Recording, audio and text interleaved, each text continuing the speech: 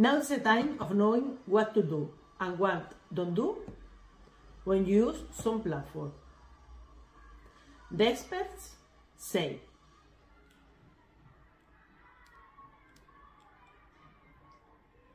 Do. Get to know your Zoom account. Starting a class. What means? Shouldn't your class. Create a secure access link. Review your management tools in Zoom. Tips for virtual lessons. Time to introduce your students to Zoom. Give an agenda or plan for each class. Discuss online etiquette and expectations.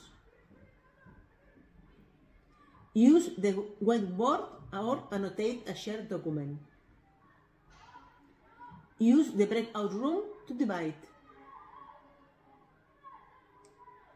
Have students to be presented and screen share their project with the class.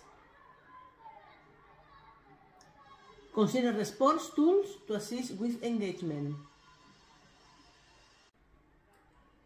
Do for. You have a great tools built into Zoom for engagement.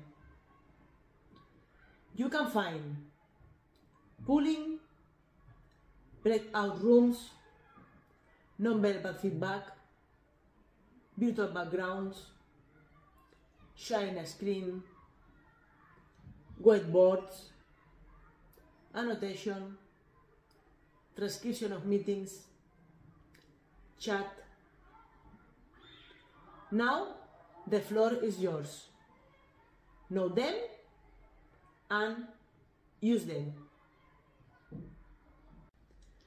Teaching over video. Present your meeting to mute participants' microphones upon entry. Look at the camera to create a contact with your students.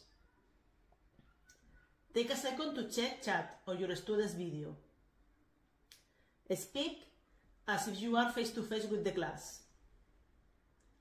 When delivering a presentation, sharing images, files or video, give your students a moment to open or take in what you have shared. Embrace the pause. Many ideas, suggestions?